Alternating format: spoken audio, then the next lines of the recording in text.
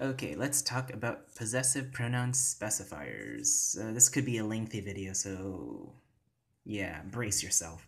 Anyway, um, you already know how to make the possessive pronouns and their forms, as well as you know how to make specifiers by using whatever affixes we have, right? Um, but what if we put them together? Yeah, so what if those we've mixed those two together? Then we get something completely new. We get the the uh, possessive pronoun specifiers that are specific to an object or a noun, right? And that's also it. I mean, you can ask yourself the question: Why is it that we have possessive pronouns that are imong and imo? Uh, for example, imo or imoha or ato or atoa, like right here in the left, we have something like ako, ako, a. Why is it that we have two types? Well, this is going to answer that question. This video will answer that question. All right. So you already know what specifiers do. You can kind of see where this is all going to come into play, and I will explain that. Starting with um, the specifiers that get attached to these possessive pronouns, they get um, when these spec- when these possessive pronouns get attached a specifier, right? That object that's being specified is now um, specific to that person uh, to that possessive pronoun, if that makes sense. So an object, I mean, if an if a possessive pronoun gets attached a specifier, the noun that it gets related to is now specific to that possessive pronoun. There you go.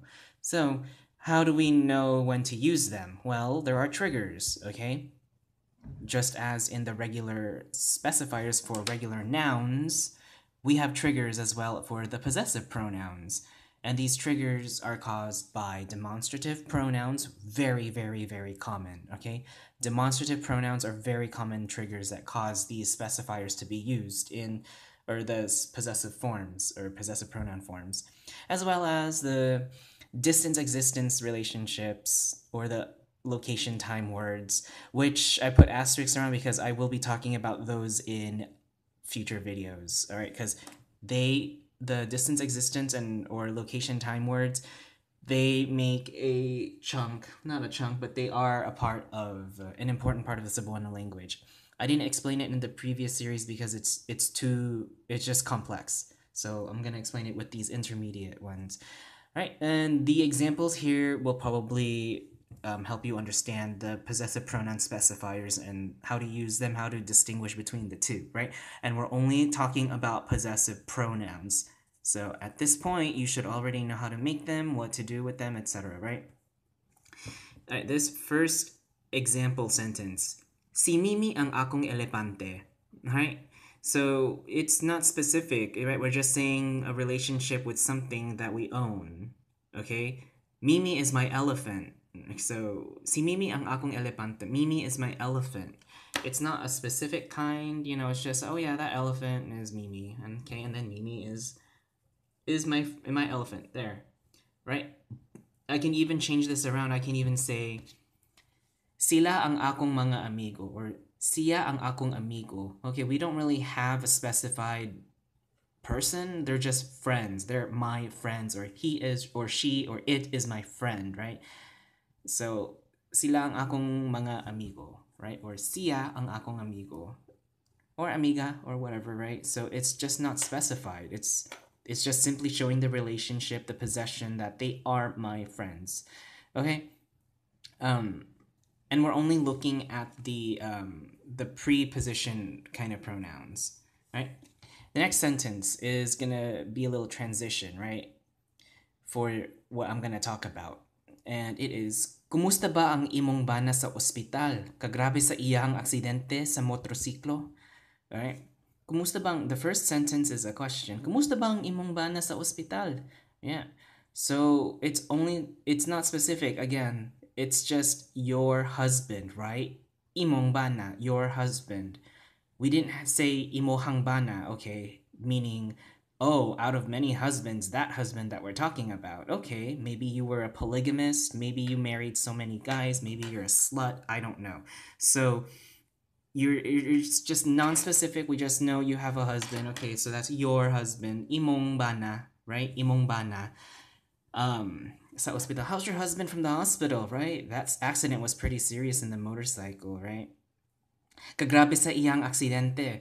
So, sa iyang aksidente. Now here is where it begets uh, it gets more specific. Notice how we had to use the sa here to specify something, right? All right, so that sa, every time you have that sa, it's gonna specify something.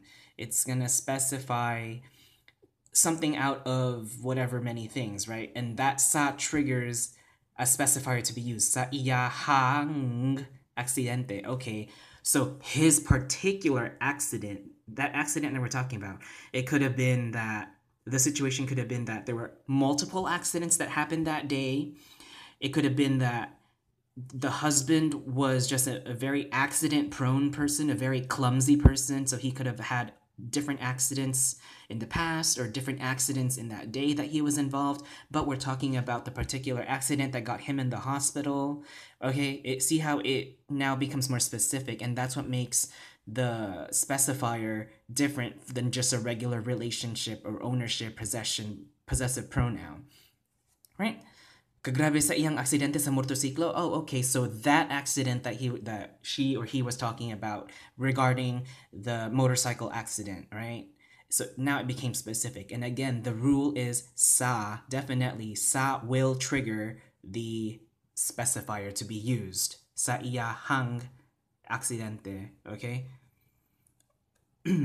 uh, next sentence here is two parts again. So the next one I have Imoha ba ningunting nga rosa? Right? Imoha ba ningunting nga rosa? Now, we have a specifier used with imo, imoha, right? Imoha ba ningunting nga rosa? Imoha ba ningunting nga rosa? Gamiton ko sa, right? Gamiton ko sa. I'm gonna use it for a bit, okay? So, are these your pink scissors? I'm gonna use it for a bit, or I'll use it for a bit, right? So, but we want to focus on this part. Imoha ba ningunting nga rosa? Are these your pink scissors? So this this sentence is very straightforward, right? What's our focus? You already know what the focus is because ning marks gunting rosa, right? Ning gunting rosa, these pink scissors, this pink scissors, right? Imoha bat, so and it makes sense because imoha is in the ergative, right? So but we want to focus here on uh, imoha and ning. What was one of our trigger to use the um, the specifier? It was it was this uh, demonstrative pronoun, kani, right? Or kini, kani, right? This demonstrative pronoun made forced us to use this specifier because now we're talking about a specific pink scissors, right? The, the pink scissors, those those specific pink scissors, I don't know where, but um, um, someone was probably holding these pink scissors that we're talking about, these pink scissors that I'm talking about, the these pink scissors that are somewhere located somewhere, I don't know, but the these, this, or um, right, is this. So this pink scissors, this pink scissors that we're talking about, that is our focus, is this one that's being specified, hence um, imoha. We have to add a specifier to imoha, okay? I, I'm hoping you see the relationship with just something being specified in specificity versus just something that's general, right? And that's where we put in our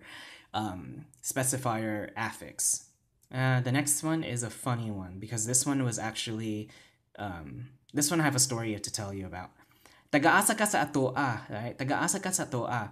Right, so first of all, I was in a grocery store, grocery shopping, wearing a, a t-shirt that had something written in Cebuano, and one of the cashier or bagging ladies read it, and she was from Cebu. And then she spoke to me in Cebuano because she thought I was a foreigner, and or she thought I didn't speak it and then I spoke to her in Cebu and then she uh, in Cebuano and she said this question to me. She asked me this question. Taga-asa sa atoa? Um, often of times, if you are a fellow Filipino or someone from the Philippines and you um, talk to somebody who speaks the same language, um, you will be asked this question: Hey, where are you from? Taga-asa sa ato? Where are you from? From our place, right? Sa atoa meaning from ours, right? From ours. And from ours having the um, connotation or the the implied meaning of our country, right? Where are you from in our country, right? Where are you from from ours, right? Where are you from meaning where are you from from our country? So, taga-asa ka sa. And of course, I told her I was from Davao, you know, taga Davao ko. And she was like, okay. But that's just a little side, little notice if, you know, people are like, if you tell people you're from the Philippines and stuff like that, well, where are you from from our place? But anyway, um, again, with here, what we see is sa, sa triggered a specified act, uh, a, a specified thing, right? Something that was being specified, which in this case is our country, right? Sa ato a. Um, and that's how we have to use a at the end with ato, ours. It's the inclusive me and you, right? Sa ato a. Um, what else do I want to talk about this sentence? Eh, I guess it's pretty self-explanatory that it's specified out of many countries um, in our place, specifically our home, specifically the motherland. Where are you from in our motherland? And the final sentence is um, ang kadtong mga uma-uma dito sa pikas para sa amo a. Okay? Ang kadtong mga uma-uma dito sa pikas para sa amo a. Uh, here we have a one of those distance existence words, right? Kadtong, well actually, yeah, one of those uh, demonstrative pronouns, those things, a distance existence relationship, kadtong, or a demonstrative pronoun in the absolutive, right? Mga uma-uma. So those things far away from you and me, those those whatever uh those in this case it's the uma-uma farm, farmland or whatever land where crops are being raised or livestock, right? So we'll just call it farm. But those farmlands over there at the other side are for us. Para sa amo a, right? Okay, so this person is telling me, oh, okay, those farmlands over there, they're on the other side, they're for they're for us. Para sa amo a. Okay, again, a, amo a. But also, katong mga uma-uma dito, those, specifically those farmlands on the other side. Right, because there could be so many farmlands in the area, we don't know which ones, but out of all of, out of many of those, that specific one on the other side is ours. So we have two things here that specifically triggered this um, specifier to be used, the a, okay? Sa and kadtong we have that, okay? So, sa amo a, okay? And I shouldn't have to go over why, you know, they're used with a or ha or whatever. But anyway, I'm ending this now because uh, it's getting a little long. But hopefully this helps you clarify the difference of why we have sometimes ha or ha at the end of possessive, uh, possessive pronouns.